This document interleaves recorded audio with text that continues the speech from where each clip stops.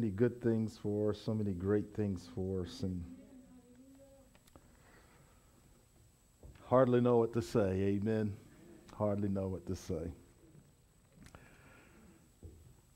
Today, I'm taking a little break. Every now and then, something drops onto my heart that's so heavy that if I don't go ahead and say it, then I think I'm actually going against what God would have me to say.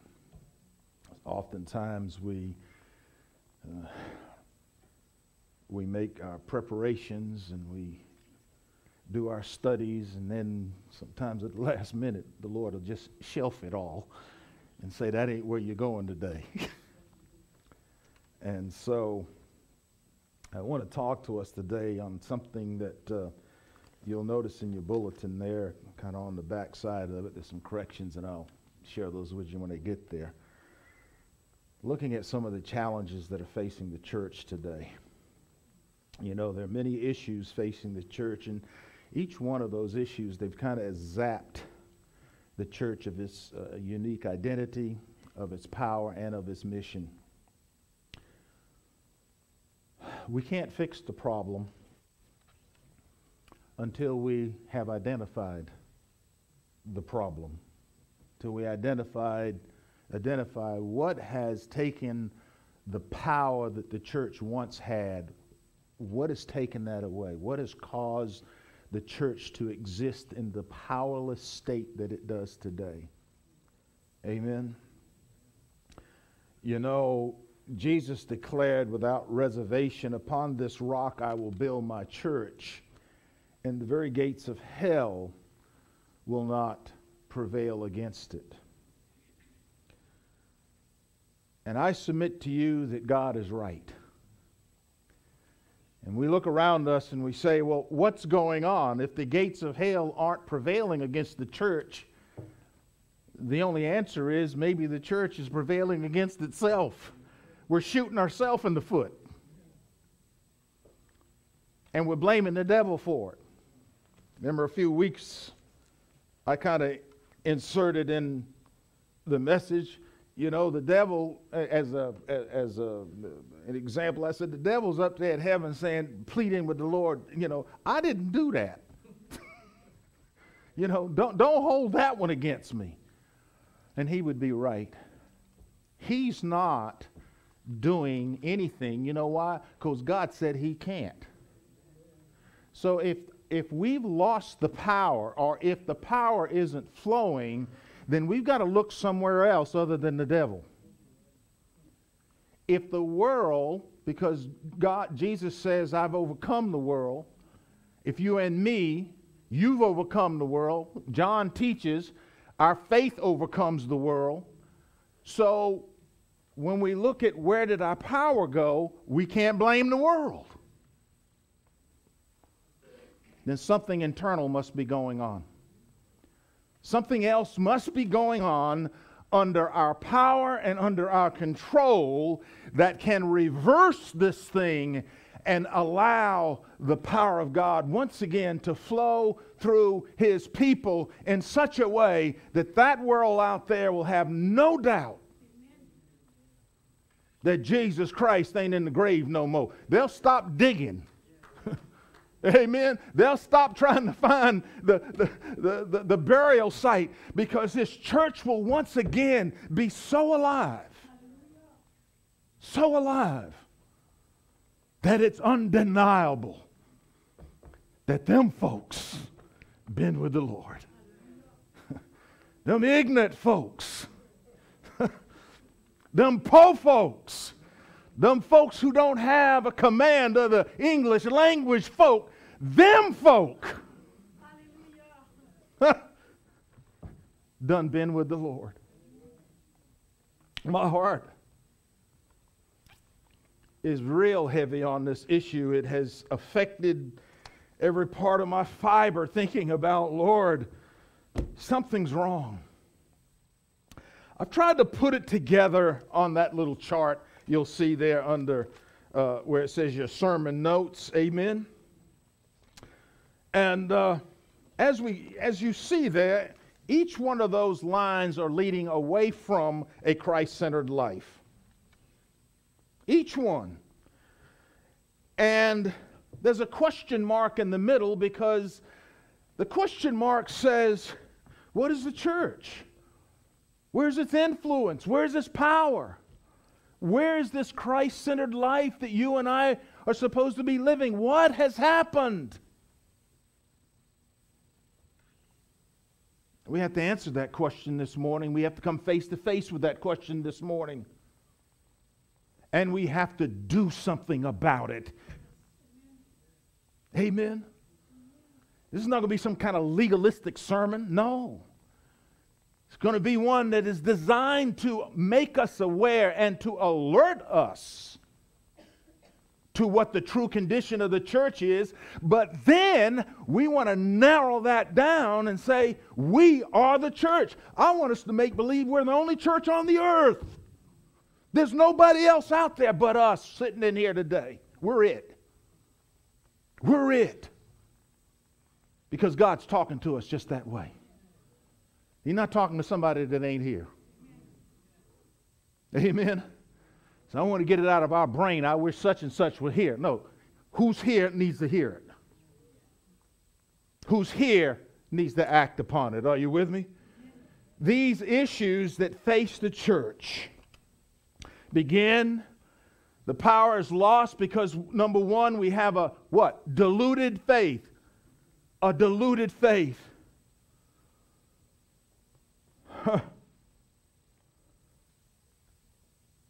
You know, when we dilute something, we make it thinner. Amen? When we dilute something, we, we take away its original strength. We don't want its original strength, so we try to wean it down a little bit, ratchet it back, soften it up, water it down. Amen? because we want we don't want the full effect or impact of that thing to have its have its have its way an adult a, a diluted faith then is one that has no power and has no strength because it's been diluted and mixed with something else you mix faith with anything else and the power is gone. Anything else? We've mixed our faith with worldly philosophy, haven't we? We've mixed our faith with, well, I just don't feel that yet. We've mixed it with so many things. Perhaps we've heard of the pharmacist a few years ago, back around 2001, 2002. Outrageous. He was taking the, uh, medicine, prescriptions for, for chemotherapy for cancer patients, and he was diluting it. Which means patients were dying prematurely because the chemotherapy was diluted. It didn't have its strength. It didn't have its power. It did not have the ability to do what it was supposed to do. He got 30 years for that. Because of the egregiousness of the crime, that there was no care for life. Church, you and I have a responsibility for people's souls out there in this world. And, and if we dilute our faith, how are they going to get saved? It's just that simple. This was a crime with this pharmacist. And all society cringed at, at, the fact that someone would be so careless just to make a profit, just to get more money. How do you think God feels about a church that's diluted its faith? Just so it can live in comfort, just so it can have its own way, just so nobody will say anything rude to it. we want comfort. And we don't want to be moved out of our comfort. You know, Jesus said there's only two kinds of people in the world. He says there's the few and there's the many. And then he says, you know, he takes that and he boils it down to the church. He says, There are few who follow me, many profess. Many have watered down their faith. Yea, many have not even got the faith. Few exercise their faith. And we ought to be exercising that every day. Why? Because that's where the power of God is. I don't have no power. You ain't got no power. We don't need to be doing a jig in, in the middle of the sanctuary talking about, I got the power. If you ain't getting somebody saved, you just dancing a jig. That's all you doing. You might as well go into the club and get the right music for it. God's power, when it flows, somebody gets saved. Now, that's the kind of power I'm talking about. That's the kind of power that takes faith and flows through the faithful. Amen? Pluralism has, has zapped the church of its power. You know, that's the thought that all religions are kind of the same. And we just need to be nice to those folks and kind to those folks. Well, let me just tell you something. We, not, we certainly ought not to be rude to them. And sure, we should be kind. And we should be respectful.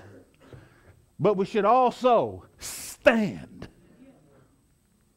and not accept that which is wrong. If Jesus said, I am the way, the truth, and the life, and that no man comes to the Father but by me, we can respect their view but not accept it. Are you hearing me today? Problem is, with plural, pluralism and what we call ecumenicalism today, that's let's just get together, is that in a pluralistic society, no one has to move but the Christian. Did you know that? He, the Christian's the only one has to move because the Christian's the only one saying, My way is the only way. So, in order to, to satisfy the various faiths or whatever out there, the church has to be quiet about the reality that Jesus Christ is the only way to God. All the other religions stay the same, they don't move, they don't change what they believe, they don't change how they practice what they believe. They're exercising more faith in nothing than we are in the real thing. We got to wake up to this, church. We got to wake up to this reality that church is more than this here. This is important. It is critical. It is essential, but it is not all. It is not all. Another thing that is has diluted this, uh, our faith is this thing about unity without Christ. You know, every time we have a, a, a problem, uh, a catastrophe, all the faiths, they come together, don't they? And they always talk about, let's get together. We need more community unity. I'm always asking, well, what you unifying around? Somebody help me out there. You know, what, what is this unity you want? We need to come together because if we come together, we'll solve the problem. No, you won't solve the problem. Because until you're at peace with God through Christ Jesus, you're going to continue to have a problem. Are you with me here? A third thing that's diluted our, our faith is worship.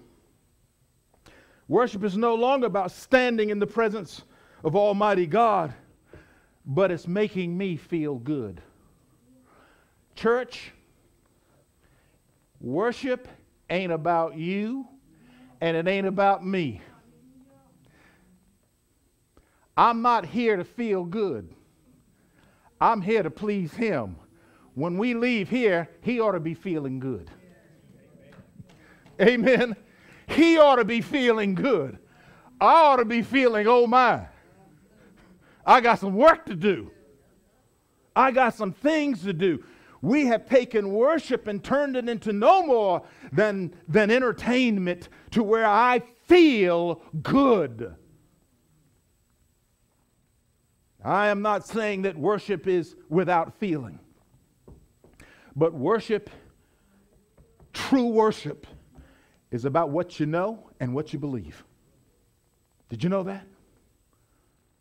It's about what you know and what you believe. It is not about feelings at all.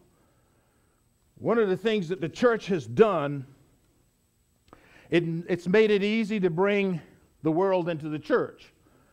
Amen. I mean, I, I can go back to the days of Sam Cooke and James Brown and Aretha Franklin. That, amen. All that thumping and bumping and going on. And now, you know, we, we brought that into the church and we put Jesus on it. Y'all don't want to hear that, do you? And so now we can come, the transition in and out is a lot easier now. I don't have to really make no change. And so worship begins just like I'm at the club. That music makes me feel good. I can come into the church and I can feel good. And I can go back out there and I can feel good. When's God going to get his due? When, when do I, I express what I know before God and I fall on my face? You know, James says, turn your laughing into mourning. Look at Scripture.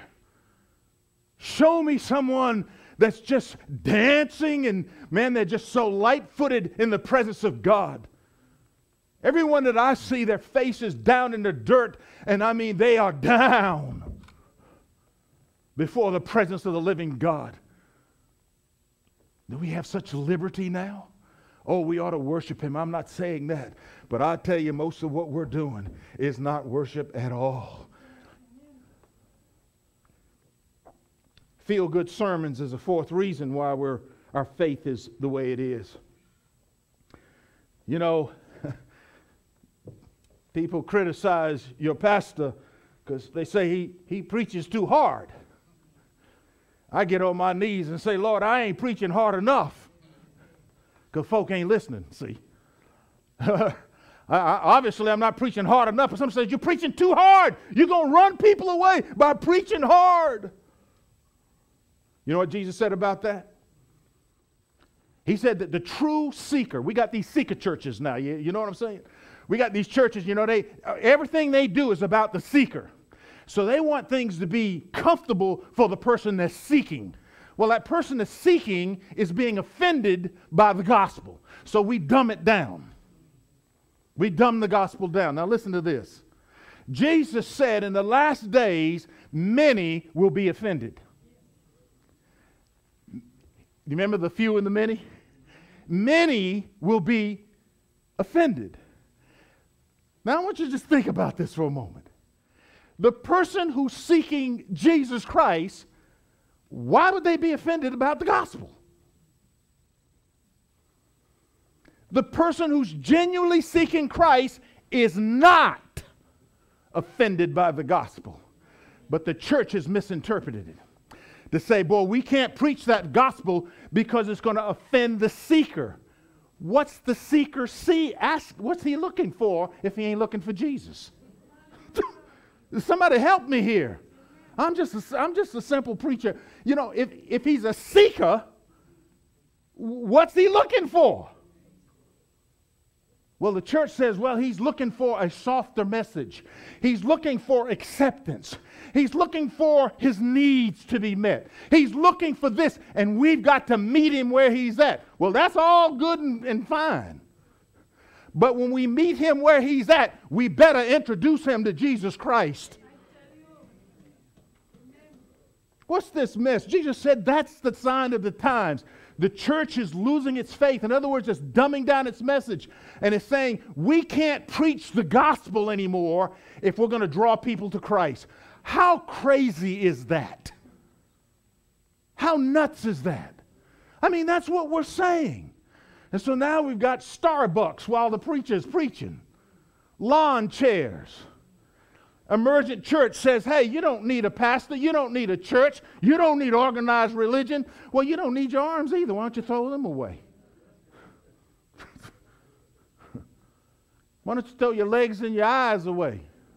God organized that body in such a way that it functions exactly the way it ought to function. God gave a church, He gave a structure for that church, a purpose for that church, and we want to throw it away.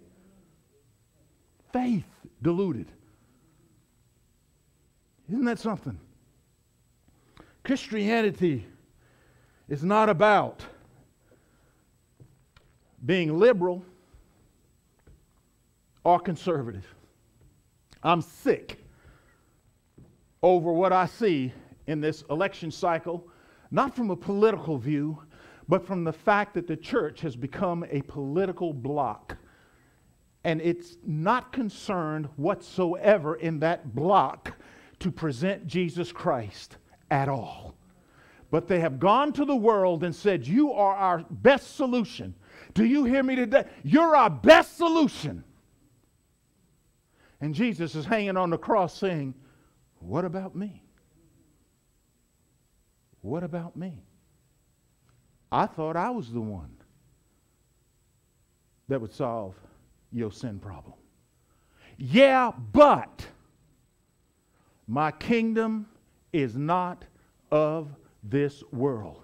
If it were, my subjects, my citizens would fight for me.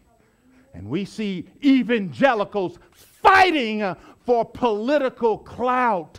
Jesus, help us. Help us. Dilutes our faith. Because we're looking not to Jesus, the author and the finisher of our faith, but we're looking to the political system. Well, what should I do? I don't know what you ought to do. Maybe you ought to try following Christ. Maybe we ought to try that one for a while. I mean, after all, we're his people, right? Why don't we just try following Christ and let the politics follow the politics? Because, best I understand, Jesus ran from the political system. Amen? Say, Pastor, that's some, that is some hard preaching. When you got to crack a rock, you need a, a good hammer. You know, some of us has been mesmerized by all of this, and we've taken it in, and we've heard somebody stand in the pulpit and tell us, well, you know, you need to just be a good citizen. You know, we got evil and evil too, and so you just have to get the less of the evil, but you need to exercise your citizenship. I'm here to say we need to exercise our faith in Jesus Christ. That's what we need to do. Amen. Vote for Him. Try it out. Amen. This world does not have the solution ha- have the solution to the sin problem. And until the sin problem is addressed, the problem is going to exist in some form. And we all see it's getting worse. Amen. As a matter of fact, the Bible even told us if, if you could, the world's getting, rest, uh, getting worse. It's not getting better. That, that, that the church is never going to conquer this world. That's not going to happen. I'm not a fatalist. I'm a believer. That's what I am. I'm a believer. And so, so I need to put all my energy. You need to put all your energy. The church of the living God needs to put all of this energy in, in, in walking in faith in every aspect of our life so that the people of this world will know there is a living God. There is a true and living God. We're just not another religion on this earth. You know something else? A second thing that challenges the, the church is pride. Pride. The scripture tells us in Proverbs 16 18 that pride goes before destruction and a haughty spirit before a fall. The church is the, the, the pride of the church. All, all we have to do some of us older folks will see it maybe a little bit more clear than some of the younger folk. Look where the church has fallen from over the last 50 to 100 to 200 years. I mean, it's just been on a steady decline. A steady decline. Why? Because of pride. I'm a Baptist. I'm a Pentecostal. I'm a Methodist. I'm an interdenominationalist. I'm a no denominationalist. Look who I am. Jesus said, You know what? You need to put me on. The scripture says, Paul says, What? Put on Christ. You know why we wear labels? Because we cannot stand without them. Let that soak in. Anybody with common sense knows that the only reason you put a label on something is to separate it from something else. That, there's no other reason to put a label there. If it's all the same, then you don't have to put a label there. Now, I'm not, I'm not foolish enough to believe that all denominations are going to go away, not even preaching that. What I'm saying is that in our hearts, we ought to, we ought to be serving one Jesus Christ. And, and let, here, here's the kicker anything that interferes with unity in Christ, we ought to lay it aside. And we're unwilling to do that. Why? Because of pride. My daddy went to that church. My mama went to that church. My granddaddy went to that church. My great granddaddy started that church. I ain't moving from that church. I don't care how bad it gets, I'm staying. I believe some people are going to be sitting up in church singing Nearer, my God to thee, when the rapture comes. They're going to start at verse 1, the rapture going to come, they're going to be able to finish verse 4. And in verse 2 and 3, the rapture going to come. They're going to be still sitting there, unaware, unaware, unaware. Someone once said that the best safeguard against spiritual pride is remembering one's own sinfulness. Keeping our eye on our own sinfulness will knock out all pride. It will not make us better uh, feel like we're better than somebody else. Pride is the heart's, I believe, greatest deception. Why? Because, because one, it causes one to think there's somebody that they're not. In other words, uh, pride causes someone to believe the lie it's telling itself. That's what pride does. Amen? That doesn't come from without. Matter of fact, nothing on this list is an outward thing, it's an, in, it's an in, in, inward thing.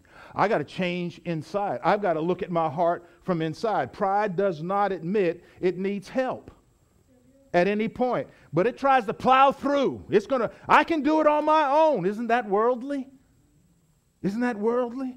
I'm not going to reach out and say, you know, I can't do it. See, that's what pride does. And then, and then we go and mess it all up. Amen. Now everybody knows you can't do it. Hello?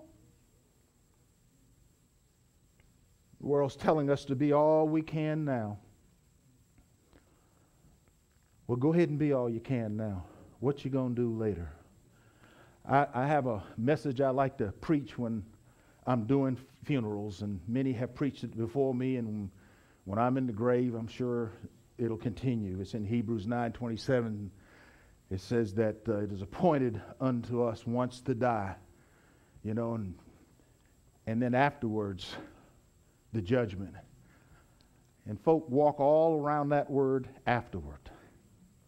and I like to hone in on afterwards. After you've been all you can be, now what? After you've won a thousand medals, now what? After you become a billionaire, now what? After you die, now what?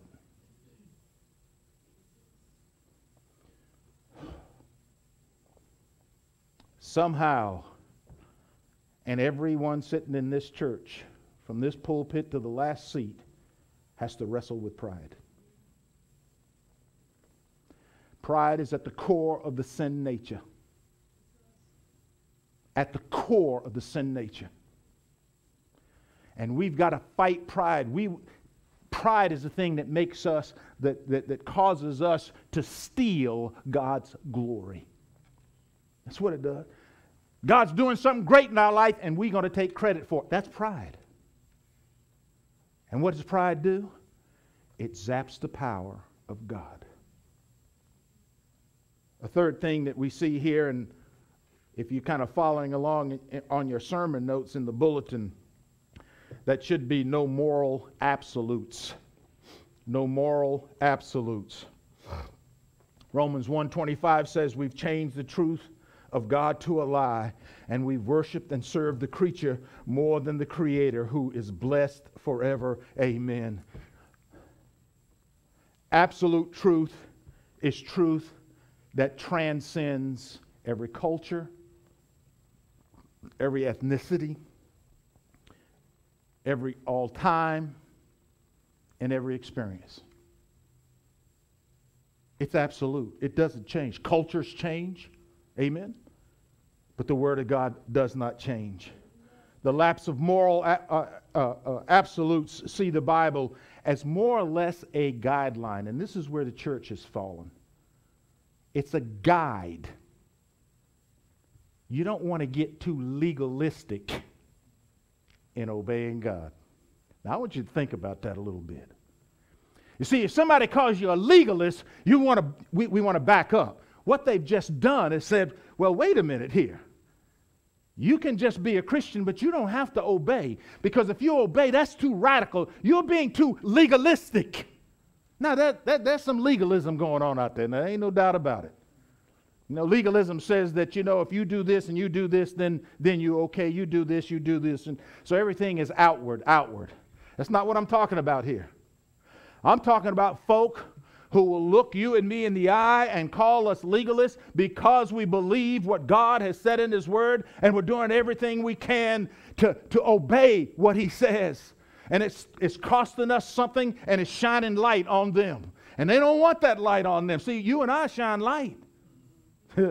he said, whatever is light exposes darkness. You don't have to tell them they're in their sin. When you stand around them, the light comes on. They say, You got to go. Don't have to say a word. Whole demeanor is different. Everything about you is different. God says, I've made you light, I've made you salt. Hmm. So far as moral absolutes, we have come to the place where every individual has become a free agent. Individual rights supersede moral absolutes. Don't tell me if you convicted of that, you go ahead. I ain't convicted of that yet. Well, do you believe that's true? Yeah, I believe that's true. Then you convicted. You're just not converted. Are you with me here? You know, folks, they, they can be convicted of the truth. Doesn't mean they're converted by that truth. There's a lot of people bothered when we bring the gospel. It's not because they don't understand, it's because they do understand and they're under conviction. You remember old Felix? I think that's who it is. If not, you put the right name in, you know. Old Paul came to him and he, he got to talking about the, the power of God and all that says, and he trembled. Don't you think that's conviction? He was under heavy conviction. But he said, Paul, you are crazy. You come back. You almost persuaded me. That's conviction without conversion. They understand. He understood. That's why I was shaking. Isn't that something? Moral absolutes. In this non judgmental world, everyone gets to be right. No one is really wrong. It's just a mistake. they, they're a little confused. Oh, they just didn't know, know better. Oh, it's their great, great, great granddaddy's fault. He was a drunk. When do we stand up and say, I'm, I'm accountable for what I do. But see, where there are no moral absolutes, nobody is held to accountability. I don't want to be held to accountability. I'm not going to hold you to accountability. Evil in this kind of a construct is reduced to a concept. You, you ever notice on the news, they, if somebody talk about something being evil, boy, they fall all over themselves saying, no, you can't say that. That's judgmental. And the church has bought into that. I'm telling you, same sex marriage is nothing but evil. It is a horrible abomination against God, just like is adultery is an abomination before God. Let me tell you something about adultery. My study in Proverbs, there, you know, it says the adulteress, if you catch the adulterer and adulteress, the penalty for that is death. It's amazing, isn't it? But the penalty for a prostitute is just to cast them out of the congregation. It's not death. Now, why do I bring that up? You see, we're in this society now that says a little bit on the side is okay. And we don't look at that as adultery anymore. We see folks, you know, divorcing like this for no reason at all, talking about we can't get along, marry somebody else. Christian folks! Why? Because there are no moral absolutes. Nobody wants to work through anything anymore. It's easy to cut and run. And my question is, what are you running to? You just packed the bag of troubles, zipped them up, threw them in the car, went where you are, took them out the car, opened them up, and the trouble's still there. Work it out. Work it out. And if you can't work it out, then just say, Lord, I'm staying no matter whether it changes or not. I'm going to obey you. It doesn't matter what that old wife does, doesn't matter what that old husband does. I am going to stick it out with you. Hello? That's what I'm going to do. My faith ain't based on what you do, it's based on what I do, and vice versa. Hello, are we still together? You know, we hardly know today what Bible to buy. There was a time when we went to a store to buy a Bible, and you know what was on the cover of that Bible? Does anybody probably don't even remember? There were only two words on that cover Holy Bible. Now you got it. You got Dr. So and so's name on there. This is my Bible, and Dr. So and so, and this is my Bible, and Dr. So, and this is my Bible. So we pick all these and say, well, they help us. And then we get to sitting around a table and say, well, my Bible don't say that. well, but, my Bible don't say that. My, well, such and such says this, and such and such. When are we going to start following Jesus? Hello? He can work out those discrepancies, see? I don't need a scholar I need Jesus. I need the Holy Ghost, who's the Spirit of truth, and I need to be willing to work through it. And if I can't get a resolution to it, I just put it on the back burner and say, Lord, I got a whole basket full of stuff here. I understand. I'm going to start working on that. I'm going to start applying what I know, and maybe what I don't know come to me. And that's exactly what Paul said. He said, Walk into where you have obtained, and if God wants to reveal something else, He'll reveal it as a result of you walking in what you know. You can't do trigonometry and you don't know one and one. now, I'm going to just tell you that. You can try to understand trigonometry all you want, but if you don't know one and one, you're not going to get far. But once you learn this, and you learn this, and you learn this, and you learn this, then you're equipped to learn something new. We ain't using what we got. I call that biblical illiteracy because we don't understand the seriousness of the book that we carry around with us week after week that that's the very word of God. Amen. We don't have to listen to them folks that say, well, maybe some of them copyists got it wrong. Maybe this they got it this wrong. And and well, in here some of that, you know, that it's italics, so that meant that's not a direct translation. Well, this one is that and that. You get Jesus inside, he'll settle the, the whole issue. Amen. Folks used to, I used to be on that bandwagon. Well, King James is the only, only version. You know, I got saved in a paraphrased Bible. I would no more stand up here and preach from that today than a man in the moon. But you see, I didn't get saved just through a translator. I got saved because the Spirit of God directed my understanding. The Spirit of God revealed to me Jesus Christ. That's how it happens. Paul says, Have we have we begun in the flesh and now I mean in the spirit? Now are we matured in the flesh? I'm not saying there's nothing, there's something inherently wrong with, with, with these Bibles that try to help us along and this sort of thing, but we're using them to divide ourselves, church. We really are, because we're unwilling to prove out who's right. Not that person, not this doc, not that PhD. He's right. He's right. I am the truth. He's right. Not in what he says, but in who he is. Are you with me? so, because of who he is, everything he says is right. A fifth thing here that the church has to face is where causes are replacing evangelism. Causes are replacing evangelism. My kingdom is not of this world, Jesus said. The church has lost all vision, call it what you want, purpose of why we're here.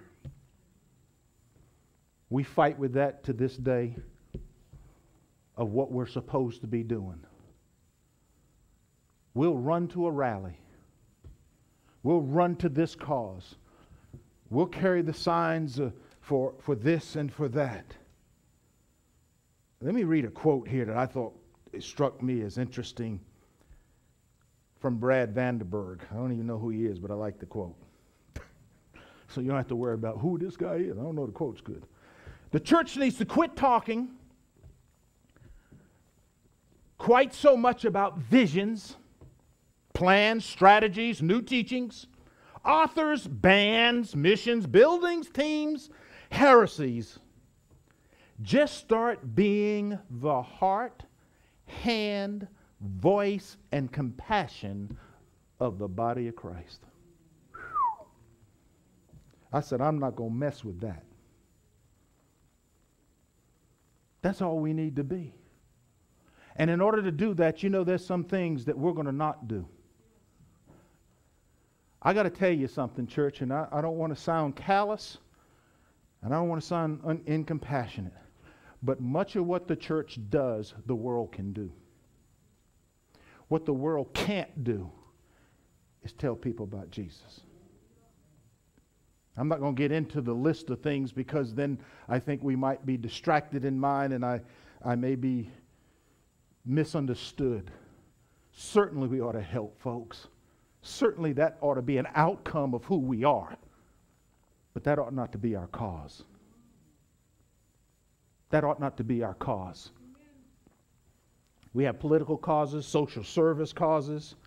There's actually a social gospel, you know, started out in Mexico and has drifted up here into, oh, that was a long, long time ago. And there's a lot of preachers, some of my friends will tell me when I talk when I start talking to them, they need to leave that social gospel alone, start preaching the gospel of Jesus Christ, because ain't no power in the social gospel. What the social gospel says is get out there and feed the world. Get out there and solve all the world's problems. And maybe, maybe they will come to understand that Jesus did it. They're going to understand that Jesus did it because I tell them about Jesus, not because I do something for them. They're going to know because my life reflects the power of God through the gospel and how it's changed my life. Amen. Doesn't matter how many people we feed if if they come to my house as a preacher and, and lock me up because I'm embezzling from the church. Hello? Heart problems. We have pro life causes, racial causes. I'm sick of this stuff. I'm sick of it. Amen? I'm real sick of it. I do a lot of genealogy studies and stuff like that just because it's interesting. But my friend, I just want to let you know if you're black, if you're white, if you're yellow, brown, or uh, whatever's in between there, we follow the Jesus Christ. We have our own ethnicity, we got our own culture, and it ain't nothing like this world. And we got to show it to the world. Somebody help me now. You hear that? I'm not carrying no signs. I don't care what anybody thinks about it on one side. Of, I ain't carrying no sign. To, I ain't going into any of that, but I ain't carrying none. okay? My purpose on this earth, your purpose, the church's purpose on this earth is not to make things better here. It is to get people saved because things are better when they're in Christ Jesus. 10 trillion. If that's inaccurate, look it up and find the number for yourself. But I think it's around that number, and that's an old number that have been put into resolving prob- uh, poverty. Somebody said that $16 trillion you could put it end to end and it would go all the way back to the time of Jesus in here and we still wouldn't have spent it all. If $10 trillion didn't fix the problem, the church ought to come to realize maybe it can't be fixed by throwing money at it. Maybe there's a deeper problem that needs to be solved. Souls need to be saved. Don't hear me to say we should turn our back. Because the scripture says you turn your back on the poor, God will turn his back on you. That's not the issue that I'm addressing today, and I think we know that. We know that. Amen. Nobody's telling, standing here and saying, don't go out and help nobody, don't do this and do this. I'm saying the church has lost this way running after movement, movement, environmental causes, this cause, that cause, and we're still here. And the church is still dwindling in its influence. It's still, it's still losing its power. Because we're not. We're more concerned about the physical needs of people and, and, and, and absolutely have no concern about their spiritual, which is eternal. No concern. You see, if I'm concerned about their soul, out of that comes a whole bunch of stuff. Amen? Out of that comes a whole bunch of stuff. We have fallen in the trap, says another, of believing in a cause more than faith. Last thing I want to tell us about this morning, I'll finish it up tonight if y'all come on back and hear it, is a crisis of honesty. A crisis of honesty. If there's one thing that we ought to be, that, that, that, that, that ought to be obvious to all of us, is that there's a serious crisis of honesty and integrity floating around. From the pulpit on back. Men aren't standing up in the pulpits anymore preaching the Word of God. They're, they're, they're in the political movement so that they can stand in the, in, in the pulpit and be a political power to control people. Jesus wants, doesn't even want to control you. Did you know that? I bet we don't know that. God doesn't want to control you. You know why? He gave you a will. he gave you a will. He doesn't even want to do that. He says, if you follow me, you got to do that voluntarily. And yet we got guys that stand where I stand, and they want to control everybody through political power. Dishonest. Dishonest. Honesty is not, it, it, it, is, is not bearing false witness against our neighbor. now, that would include the, the gossip, the slander, the innuendo, the false perceptions we have about people. That comes from an evil heart. You know, uh, Mark 7 uh, 21 t- says that evil thoughts, evil thoughts, That comes from here. Evil thoughts about people. That comes from within. And it says that defiles a person. That messes people up. Amen? That's not being honest. Flattery is not being honest. Now, you just got to figure a way, you know, when you look at that hat, you got to figure a way to say, well, you know, uh, it, if you think it's good, you know what I mean? I mean, you got to figure that out now. You know, you got to use some wisdom here.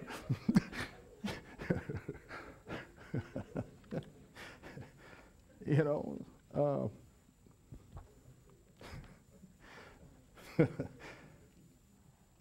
Honest people aren't deceitful people. Honesty is letting our yes be yes and our no be no. Honesty is telling yourself, and this is the most important honesty is telling yourself the truth about yourself. We have, we have fooled ourselves long enough. And we've become better in our own eyes than what God sees. Amen. Now, I, I know some of us will be thinking, well, you know, I'm okay. I mean, I know I'm messed up, but when God sees me, you know, he just sees Jesus Christ. Well, that well may be true, but he ain't overlooking. Don't mistake that for God overlooking sin in our life. You know why? Because if he only, if he only, and I underscore, only saw us through the eyes of Jesus, he would never chastise us. He would never correct us. He just let us live the way we live in, in Christ. Wrong, full of sin. But the fact that he corrects us, he chastens us, says that though he sees us in eternity in the eyes of Christ, he sees us now where we are, and he will not let us just walk any kind of way and live any kind of way. Amen? And we got to be honest with ourselves about that. He that is born of God cannot sin. Why? Because the seed remains in him. I can't have Jesus Christ in me and I'm just living this. I can't do it. Not because I'm incapable, because God said it. Are you with me? He said that can't be because He has taken charge. Oh, great Googa Mooga. Honesty. 2 Corinthians 13 tells us what? It says that to examine yourself, your own self, whether you be of the faith or not. We got to start doing that, church. We got to start minding our own spiritual business. We got our nose stuck in everybody's business. We want to run and tattletale on everybody and what they're doing, and I, and we hang it out. You know the flap. You know you go to the hospital in them gowns. You better make sure you tie them up, or the flap be out. You know. Woo. You know, we don't know our flaps out. Are you with me here? See, we criticize somebody. Uh, look at that. Well, hey, you better watch out. You just let go of your, your strings there.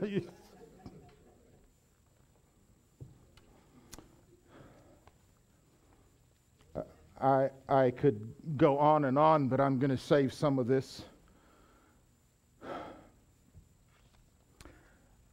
I, I'm really moved because until we begin to see where the church is and, and, and where the leaks are and where the problems are, you know what we do here makes little sense, if any at all. It really does. You'll, you'll wear out, you know, church will wear out one, one pastor bringing another, wear him out, wear him out, and they just stay the same. It just stays flat. We're looking to blame somebody else for what's wrong, but we're not willing to look in ourselves and say, Have I committed myself to the Lord? Have I lied to myself when I said, I give my life to you, Lord? Have I done that? I know He's given His life for us. That's not the issue. Have I given my life? And is there tangible evidence not for anybody else? but for me, that I know by how I live my life, how Christ is working through me, how the power of God is working to help me overcome the challenges that come in my life, how my mind is being renewed daily, how I see myself dying to this and dying to that. I need to evaluate my own life against that to determine that faith is indeed in me. Why? Because James says faith produces a work. You don't produce it, I don't produce it. Faith produces a work. In other words, faith says it's an action. God said it, I'm going to obey. That's faith. When I obey, the power of God flows through my life. Do you see that? And that's faith at work.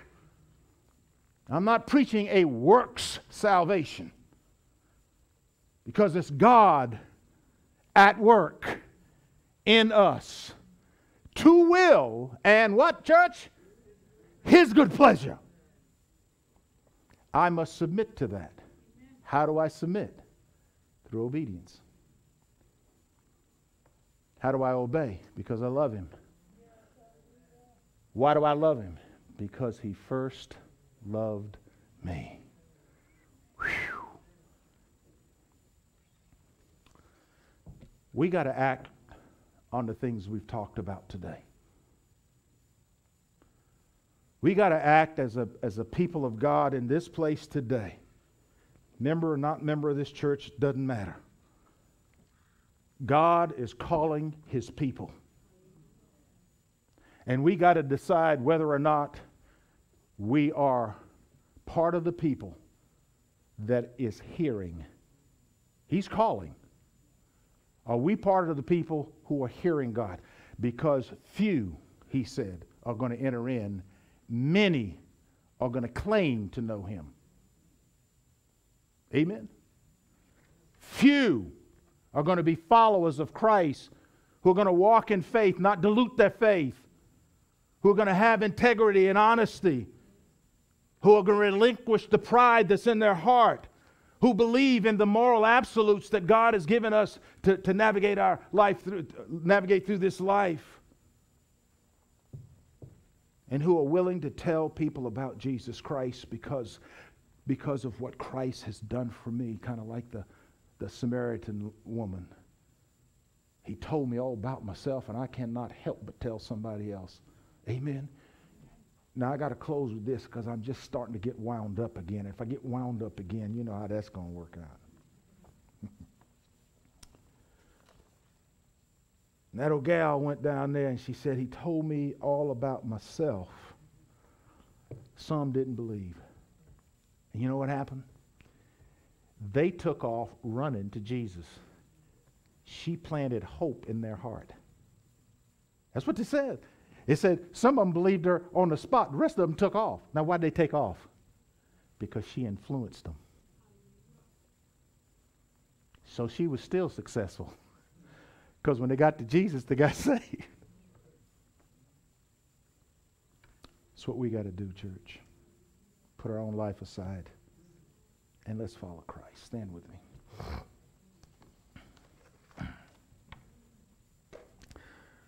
Lord, you have attempted to wake us up again today. And we got to thank you for bringing us in because, Lord, Father God, in exposing us for who we are, indeed, you are showing us mercy. You are showing us your, your grace and your love. For you speak to us, Lord God, in time that we may turn. You speak to us, Lord, while the heart is still accessible. You speak to us, Lord, before we run into ruin. Hear us then, Lord God, Father, and help us and heal us that we can be the church you want us to be, called us to be, and made us and equipped us to be. For every heart in here, Lord, Father God, that has received your word and hid it in their heart. Show forth their might and your power, even in this day. Affirm and confirm your word in them. Those who, Lord, he may be on the fence, be the tug that causes them to fall on the side of Jesus. Any be here who don't know you, Lord, Father God, quicken their spirit and hear the voice that they cry out to you now to the saving of their soul. If there be anything else, oh God, Father, we know you'll reveal it. This we pray and thank you for. In the blessed name of Jesus, and all who believe said, Amen and Amen.